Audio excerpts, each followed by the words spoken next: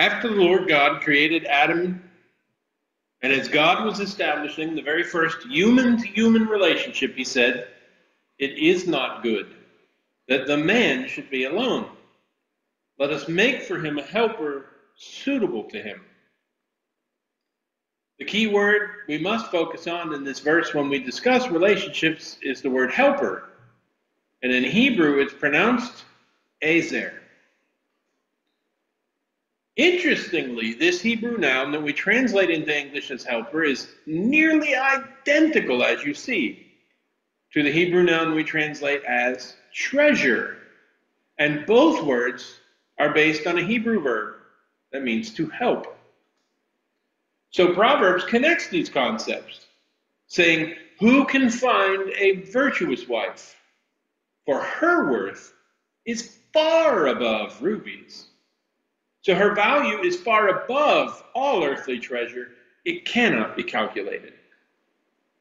Plus, the passage explains she opens her mouth with wisdom, and on her tongue is the law of goodness.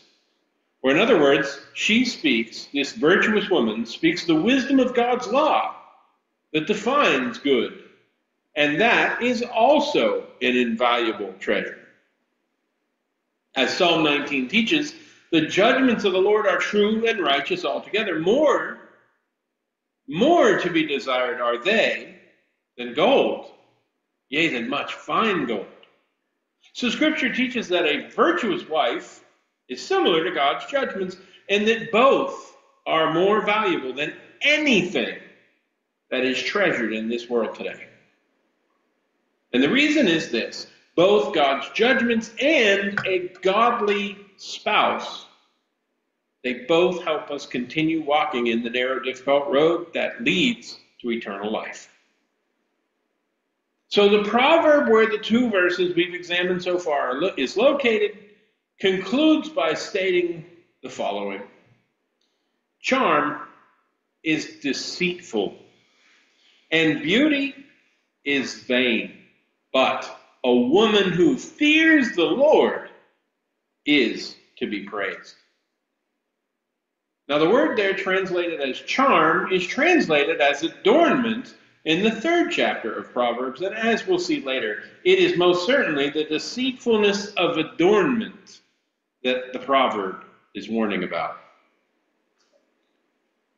Plus, when the proverb states that beauty is vain, it could actually be just as literally translated beauty is futility, beauty is fleeting, beauty is empty, or beauty is useless. Let me ask do we base agape love on beauty? No. Do we base phileo love on beauty? No. So you see, the love beauty is eliciting is a sensory, physical manifestation of Eros love. Beauty and Eros love are connected. So, when physical attraction is the foundation of a marital relationship, that relationship is built on a very shallow and very unstable foundation. For this reason, the Lord said to Samuel, and this applies to every situation do not look at his appearance or at his physical stature, because I have refused him. For the Lord does not see as man sees, for man looks at the outward appearance but the Lord looks at the heart.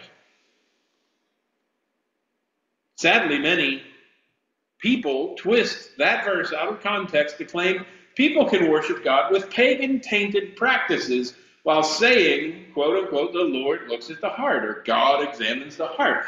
That's not at all what that passage was teaching. The passage is commanding us never to favor or disregard anyone based on immutable characteristics of physical outward appearance, but instead to look at their conduct, because conduct flows from and reveals their heart.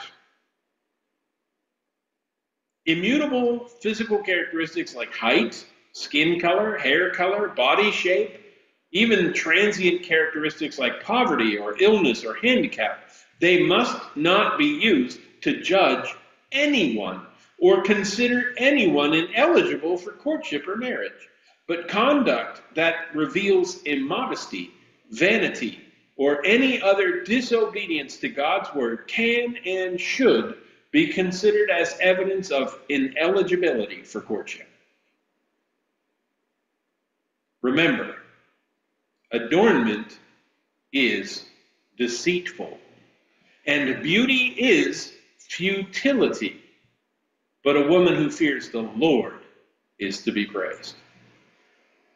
For this reason, outward beauty is never mentioned in Proverbs 18:22, which records, "He who has found a good wife has found favors and has received favor from God." Yes, a good wife is an invaluable treasure and a blessing from God, a tangible manifestation of God's amazing grace. But truly, a good wife is one who loves the Lord's word and fears the Lord. Meanwhile, when we place a value on our relationships and even prioritize them according to such values, we must recognize that only God can deliver us from sin and death. Therefore, we treasure our relationship with God above all others and measure every relationship based on our relationship with God. But next, we must treasure our spouse and value our relationship with them above all other human relationships. Therefore, a man shall leave his father and mother and be joined to his wife, and they shall become one flesh. That's why we refer to finding a spouse as the second most important decision you will ever make. But the scriptures are clear it is a virtuous and good wife who fears the Lord that is a treasure, but evil company always corrupts good morals. So, because choosing a good spouse is such an important decision, and it involves all of the potential dangers of Eros love, a careful, deliberate, principled process of spousal selection that involves the authority of God and parents must be employed. Historically, as we have learned, that process is called courtship. And when we remember the walls of the court are the commandments of our God, it helps us never lose focus on the most important relationship in our lives, the one that requires us to love God first and foremost by keeping all of his commandments. If we're tempted ever to break any of God's commandments, to pursue any relationship with any person on this earth, including the commandments to honor our parents, then we should immediately recognize that relationship is leading us to violate the protective boundaries of God's commandments, so it is a relationship that must end immediately. We cannot claim to love God with all our heart, mind, soul, and strength while we sin against God to pursue a relationship with someone else. And those who leave the boundaries of the Lord's commandments to pursue earthly relationships are leaving behind God's protection. They're leaving behind God's relationship they have with Him, and possibly their place in the kingdom of heaven if they don't repent. For this reason, Jesus said, Abide in my love. If you keep my commandments, you will abide in my love, just as I have kept my Father's commandments and abide in his love. And later, our brother Jude, or more literally translated, Judah, admonished, Keep yourselves in the love of God, looking for the mercy of our Lord Jesus Christ unto eternal life. It's up to you and I to keep yourself in the love of God. So we must never forget that Scripture teaches when all has been heard, the conclusion is fear God and keep his commandments. Because this applies to every person. For God will bring every act into judgment, including which is hidden, everything which is hidden, hidden, whether it's good or evil. The fact is, obedience to the Word of God, including all of His commandments, is the true test Christians must apply to any person they might consider a prospect for marriage. And one of the easiest ways you can preliminarily judge a book is by examining its cover. If the cover of a book contains filthy language, should you read that book? If the cover of a book displays immoral images, should you even open such a book? If the cover obviously promotes a lie, is it an appropriate book for a saint? Obviously not. Despite the common but unbiblical expression, you cannot judge a book by its cover, you can actually tell quite a lot about the book by the cover the author chose to adorn their, their work with. Similarly, if we notice immoral, disobedient choices in the way a person dresses or doesn't dress their body, those choices at the very minimum indicate they don't yet know what God's Word teaches about clothing. How can you recognize if someone's obeying the command to keep the Sabbath holy? How can you observe if someone is obeying the command to have no other gods besides our Lord? How can you determine if someone's obeying the command not to bear false witness? By their fruit. Obviously, when we see people disobey these commandments, we properly identify the perpetrators as lawless but why do people think we should not identify lawlessness when we see people violating equally plain commandments in the Word of God? Without a doubt, you can begin to identify when a person knows, believes, and obeys God's Word by simply observing how they dress their physical body. Because Scripture has very clear guidelines on the subject of clothing. For example, the Lord's servant Peter wrote, Do not let your adornment be outward, arranging the hair, wearing gold, or putting on fine apparel. Rather, let your adornment be the hidden person of the heart, with the incorruptible beauty of a gentle and quiet spirit, which is very precious in the sight of God. That's how you adorn yourself. The word merely was added by some false teacher turned translator to that passage in many translations, but Peter did not include such a word or such an idea. Peter said our adornment should not be outward, period. We should not wear fancy hairstyles, expensive jewelry, or fine clothing. That's not a suggestion, it's a command penned by the Apostle Peter and included in the inspired scriptures by the Holy Spirit. Christians should not dress like the world, nor should we participate in worldly, fleshly pageants of outward adornment in modesty and vanity. But Peter wasn't the only apostle inspired to write such a command. Let this matter be established in the mouth of two or three witnesses. Similarly, the apostle Paul wrote, I desire, therefore, that the men pray everywhere, lifting up holy hands, without wrath and doubting.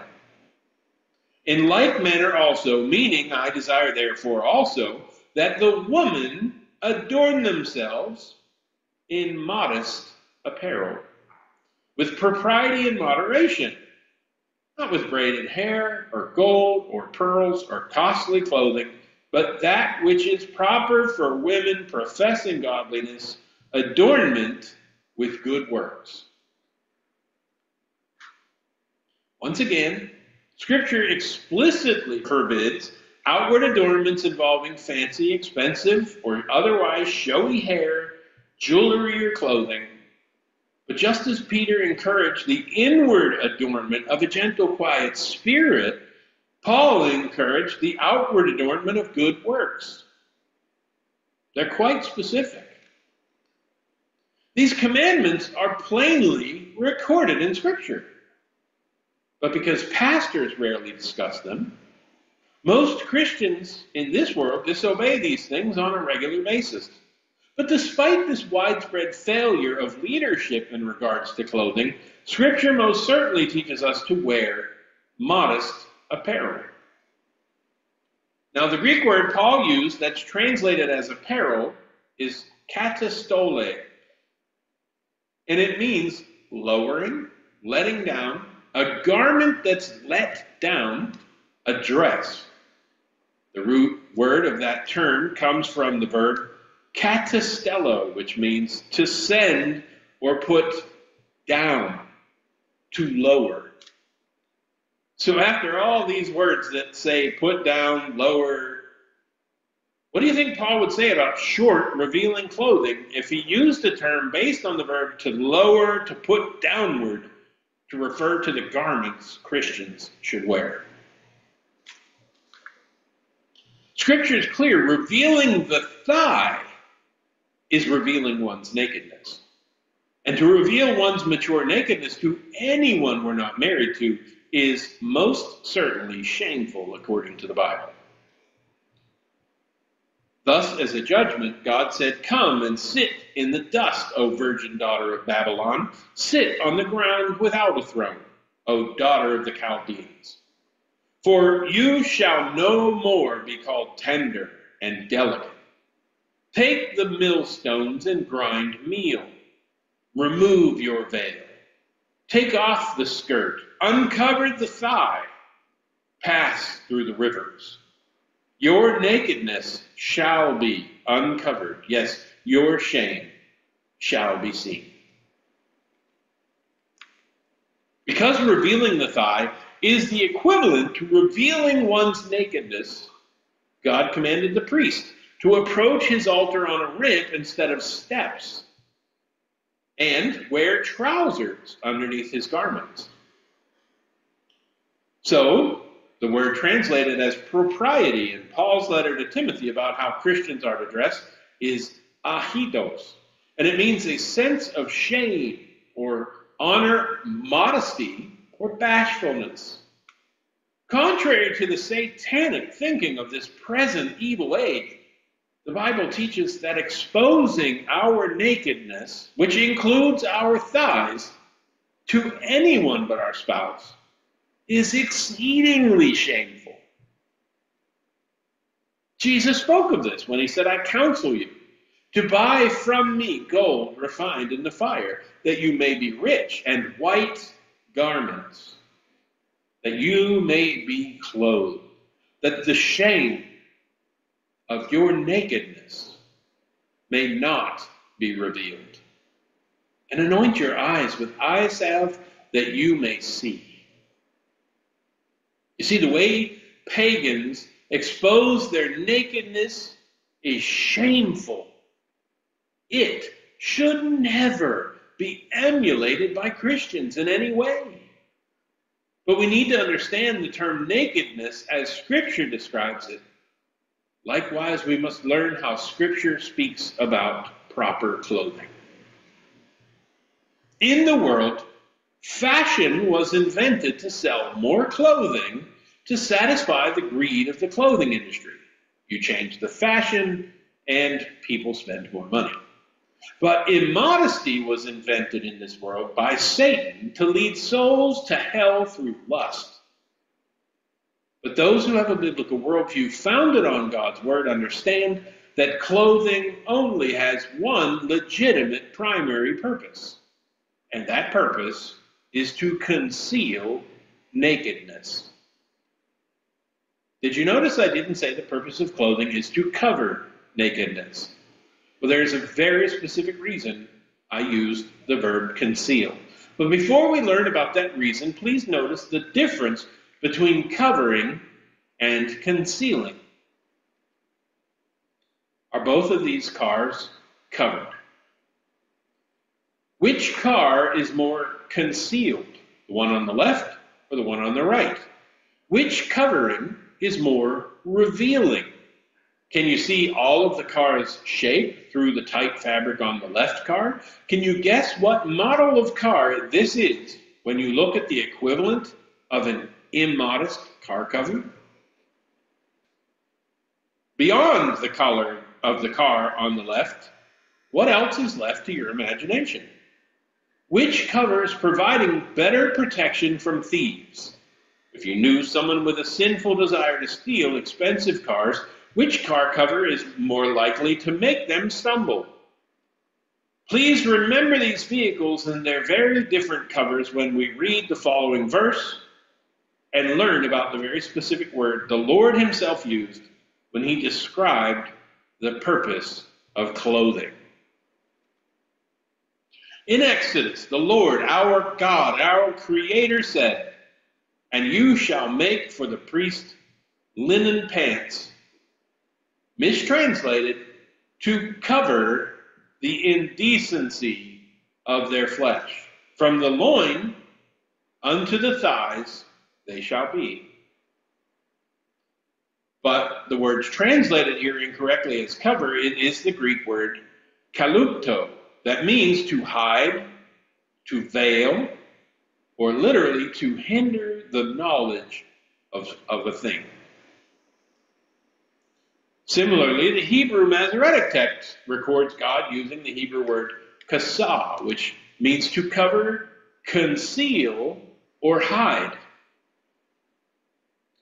Does skin tight clothing hide a body, veil a body, or hinder the knowledge of the shape of a person's body?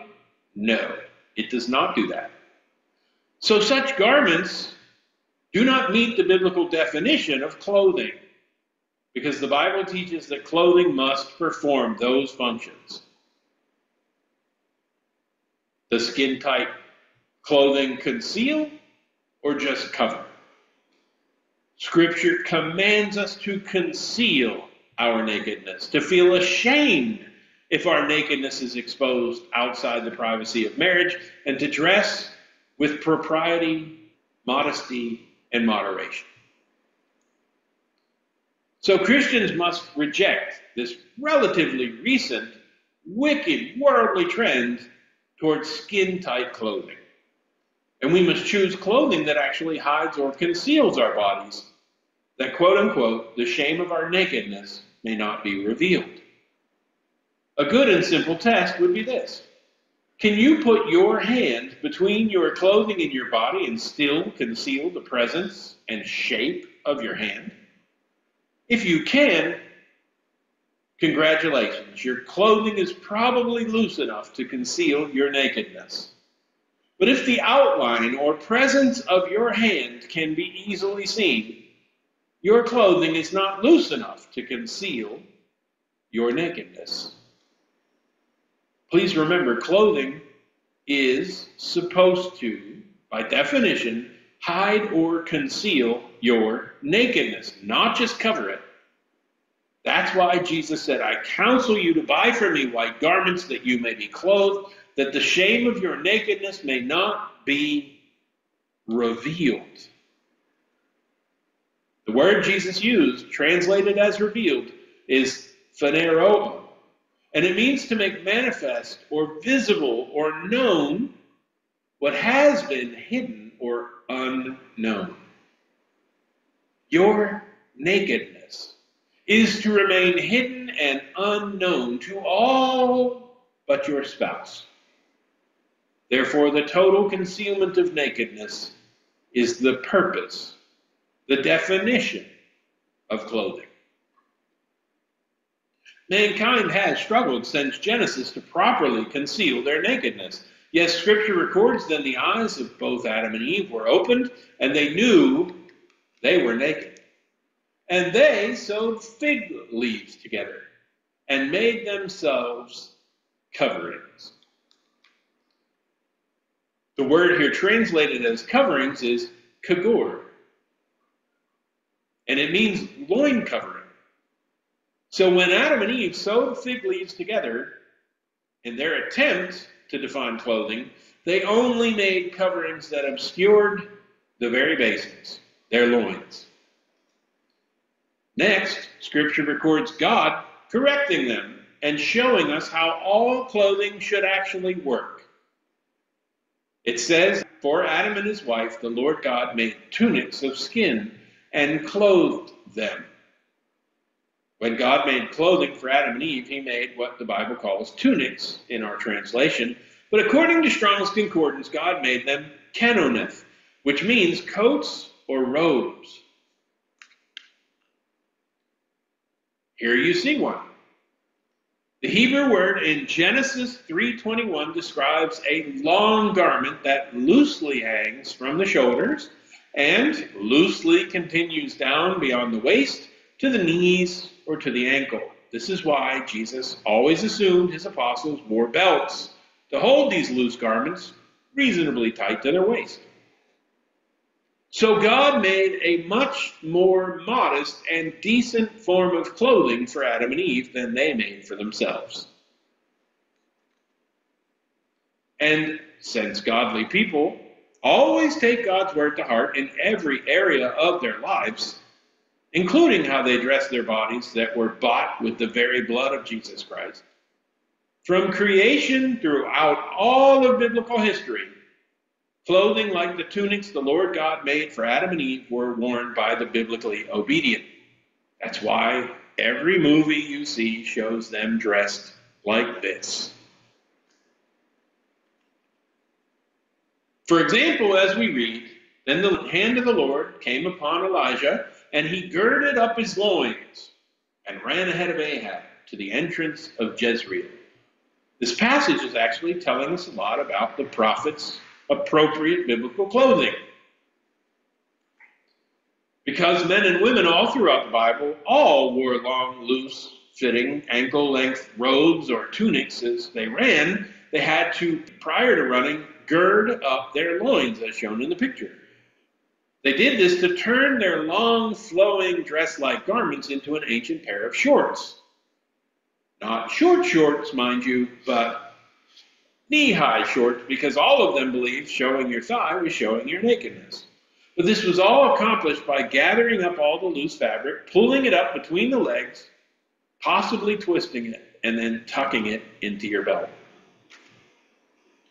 This style of clothing was the norm all throughout Scripture. So Peter writes, Therefore, gird up the loins of your mind, be sober, and rest your hope fully on the grace that's to be brought to you at the revelation of Jesus Christ. This metaphor doesn't work if his people he's writing to don't still dress like the man on your screen. So, all throughout biblical history, both the male and female saints, but not their pagan contemporaries, they all wore long, loose fitting, ankle length, often, clothing. So that's why Peter used the metaphor of girding up the loins of the mind. He knew that all of his readers would easily understand how the metaphor of preparing your robes to run applied to preparing our minds for the spiritual race that lays ahead, bringing every thought into captivity to obedience to Christ. Likewise, Paul makes it clear certain parts of our body must be hidden. He writes, Those members of the body which we think to be less honorable, on these we bestow greater honor, and our unpresentable parts have greater modesty. But our presentable parts have no need.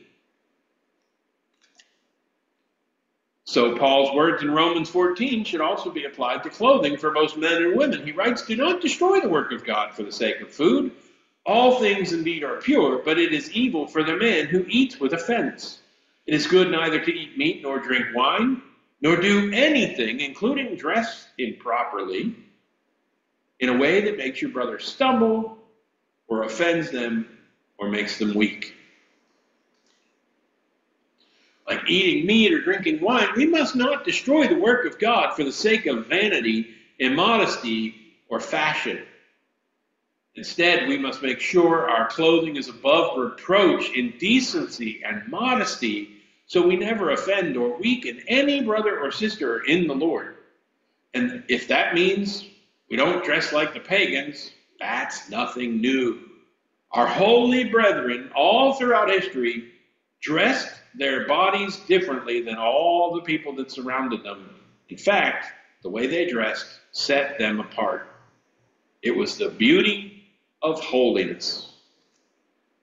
So remember, our king is warned whoever causes one of these little ones who believes in me to sin, it would be better for him if a millstone were hung around his neck and he were drowned in the depths of the sea. Woe to the world because of offenses, for offenses must come, but woe to the man by whom the offense comes. We should hide our nakedness out of a, sense of modesty, as well as a visible manifestation of our pursuit of godliness and holiness. Would Jesus wear something like that? No. If all this fails, may the fear of the Lord be one more reason we all must hide our nakedness. Jesus will not look kindly on anyone who causes even the least of his servants to sin by dressing immodestly. One example of an immodest woman can be found in Proverbs chapter 7. There, a woman with no shame announced her wickedness proudly through her filthy clothing. Scripture records, My son, keep my words and hide my commandments with you. My son, honor the Lord, and you shall be strong and fear none but him. Keep my commandments, and you shall live. Keep my words as the pupils of your eyes, and bind them on your fingers, and write them on the tablet of your heart. Say that wisdom is your sister, and gain prudence as an acquaintance for yourself, that she may keep you from the strange and wicked woman, if she should assail you with flattering words. Scripture warns she looks from a window out from her house into the streets. At one whom she may see of the senseless ones, a young man devoid of understanding passing by the corner in the passages near her house and speaking in the dark of evening when there happens to be the stillness of night and of darkness and the woman meets him having the clothing of a harlot that causes the hearts of young men to flutter. And she is fickle and rebellious, and her feet abide not at home. For at one time she wanders outside, and at another time she lies in wait in the streets at every corner. Then she caught him and kissed him. And the passage concludes of this wicked woman by warning, so with much conversation, she prevailed on him to go astray. And with the snares of her lips, forced him from the right path. And he followed her, being gently led on, as that of an ox led to the slaughter and as a dog led to bondage, or as a deer shot in the liver with an arrow, and he hastens as a bird into the snare, not knowing that he's running for his life. Now then, my son, listen to me and attend to the words of my mouth. Let not your heart turn aside to her ways. For she, the immoral, immodest woman has wounded and cast down many. And those whom she has slain are innumerable. Her house is the way of hell, leading down to the chambers of death. Unless you desire death and hell, when someone's publicly worn clothing can be described as the clothing of a harlot, or the way someone dresses causes young men's hearts to flutter, run, run from such a person.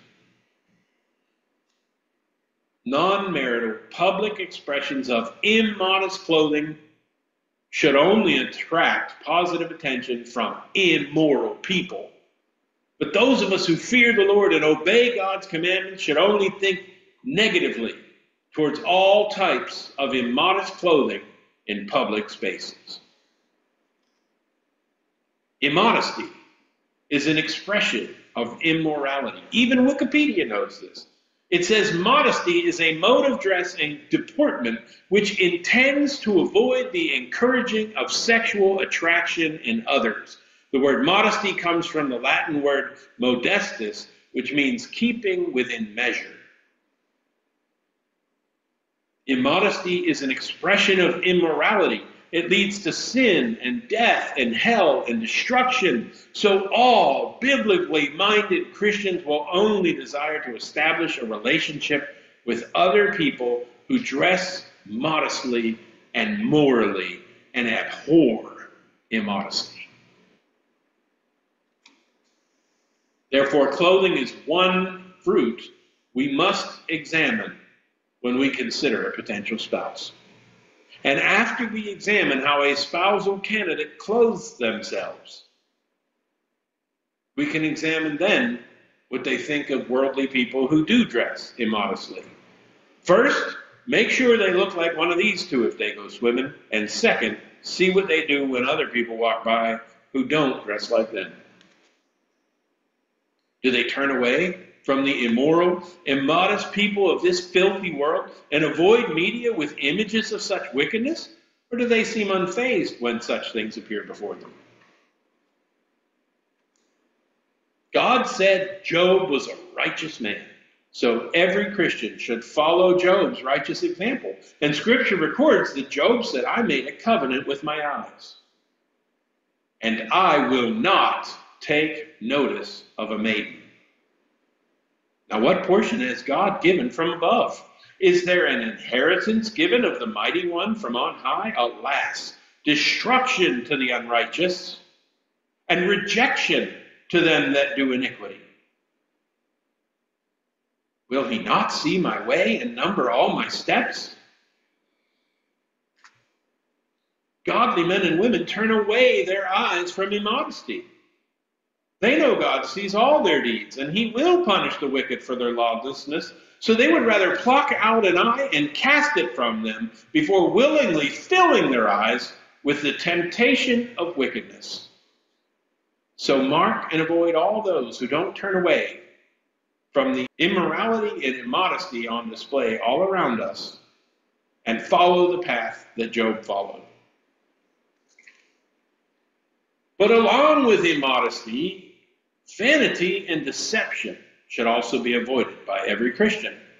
So please consider with me in this world's culture when people use the word make up in a sentence about a person's face, it becomes a noun describing types of face paint traditionally applied in a mirrored table they literally call a vanity.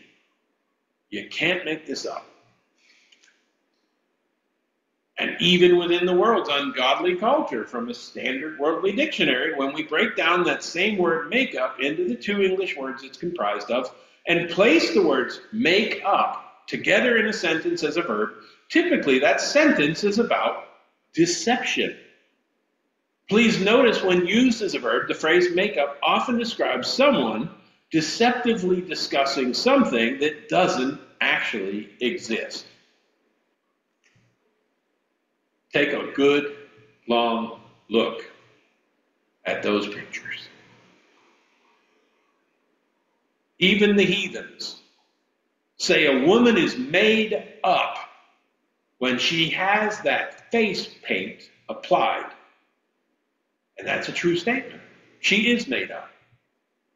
All the marked false images are of a person who does not exist.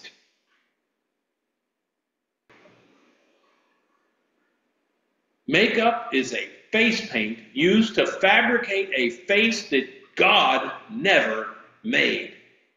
It doesn't exist. God didn't create it.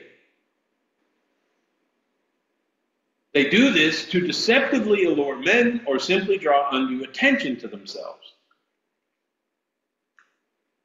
Lately, perverted men employ the exact same types of makeup and the same types of immodesty to pretend they're women.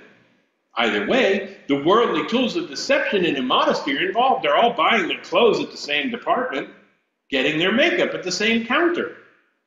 So perhaps if makeup and outrageous immodesty didn't exist in modern feminine culture, it would also dissuade such male emulation.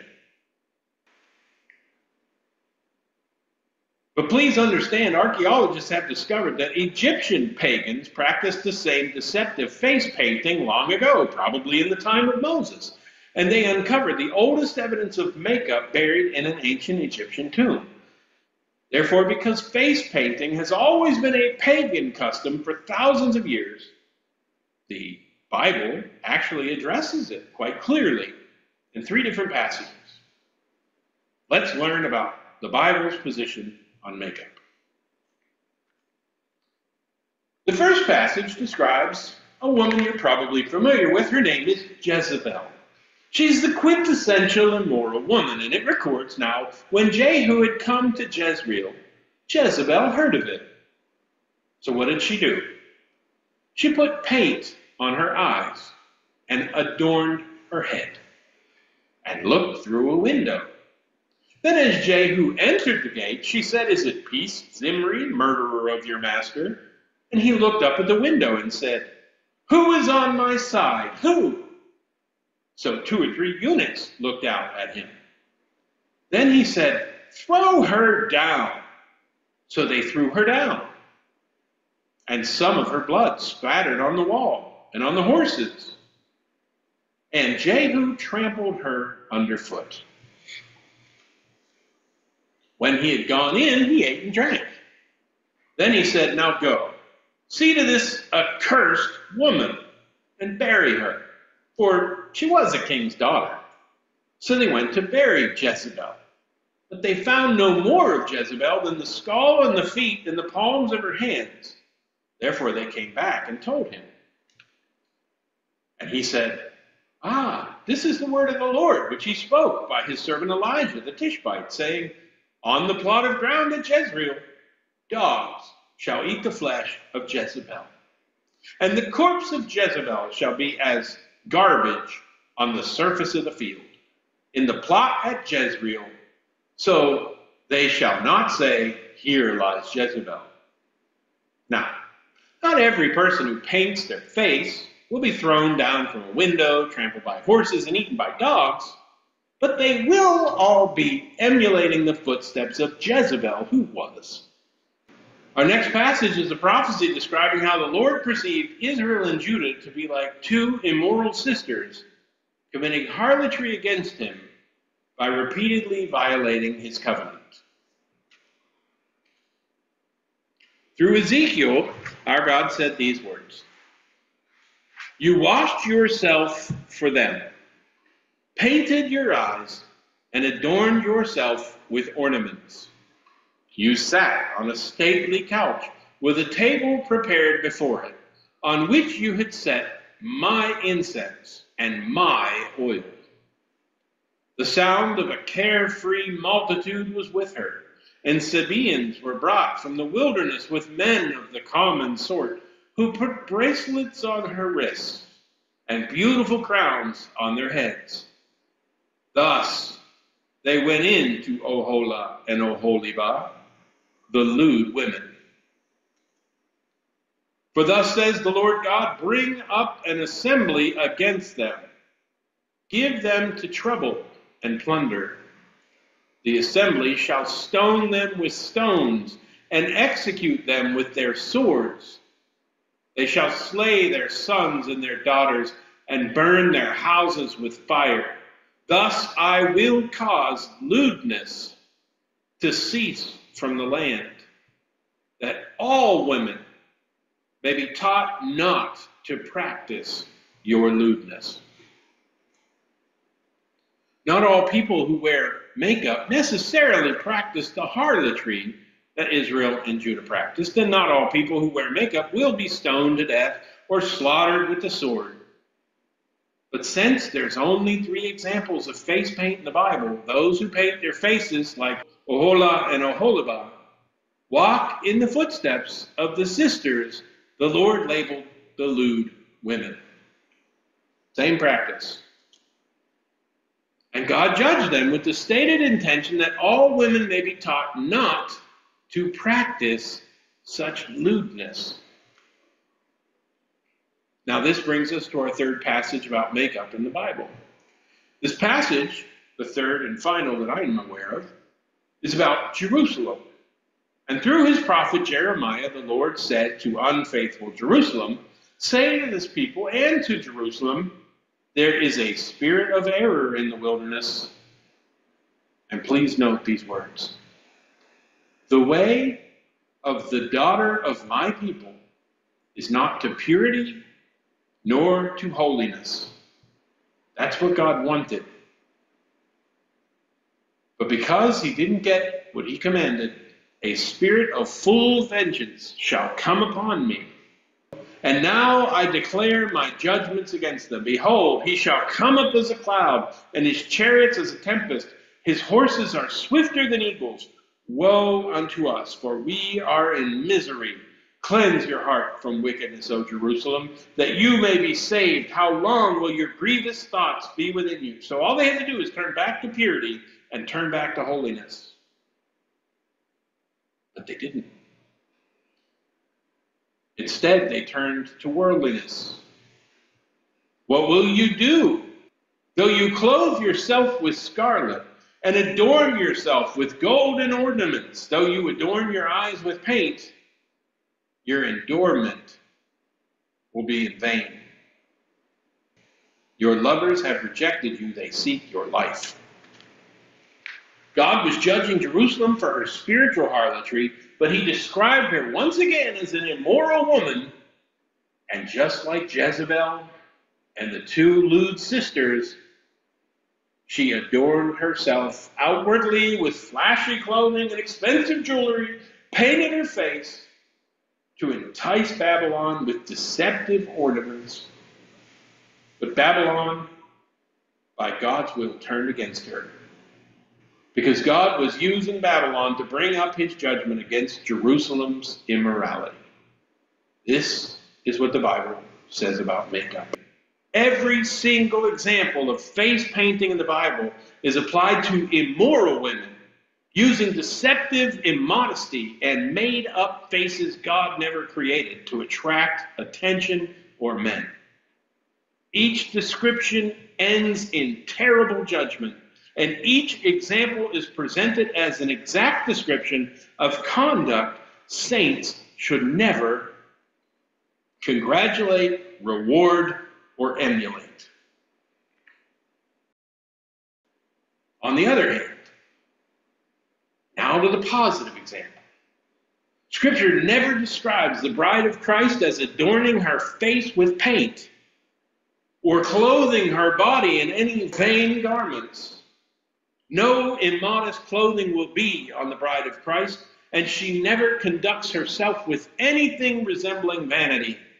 She adorns herself in purity and in holiness and embraces the way God made her. The scriptures say, Let us rejoice and be exceedingly glad, and let us give God glory, for the wedding of the Lamb has come, and his wife has prepared herself. And to her it was granted that she should be dressed in fine linen, bright and pure. See, purity is in the definition, and the fine linen is the righteous acts of the saints. Unlike Jerusalem in Jeremiah's time, the bride of Christ faithfully prepares for her wedding day by consistently walking in the way of purity and holiness.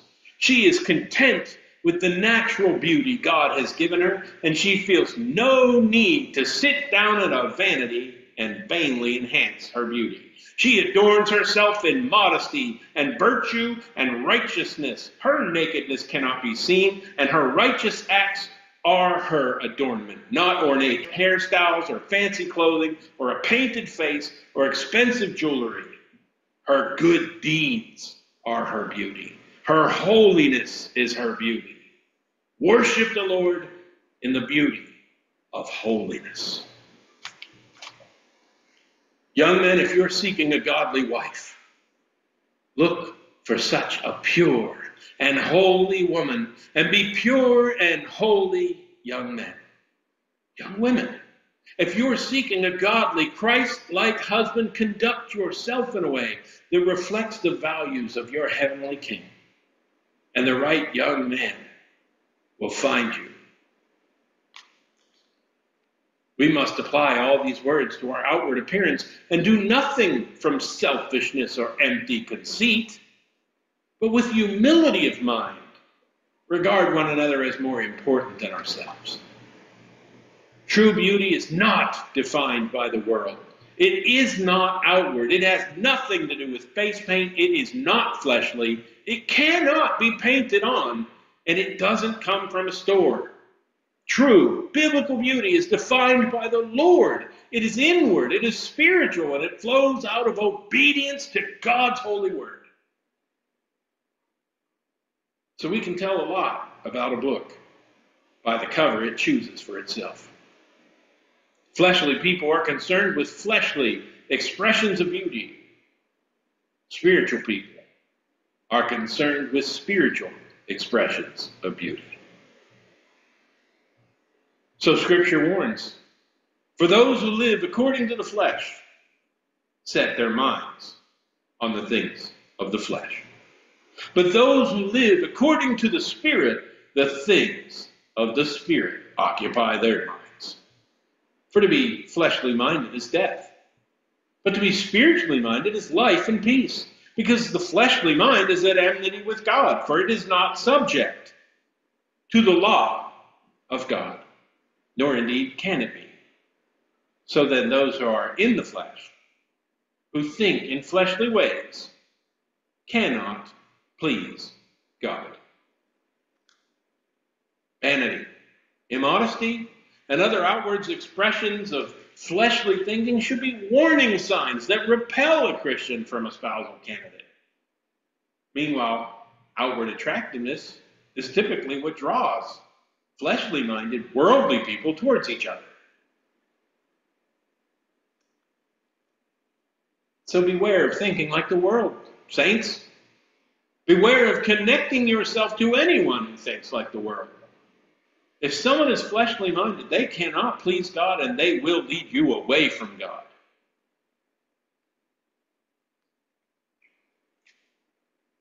For these many reasons, never forget Adornment is deceitful, and beauty is futility. But a woman who fears the Lord, she is to be praised.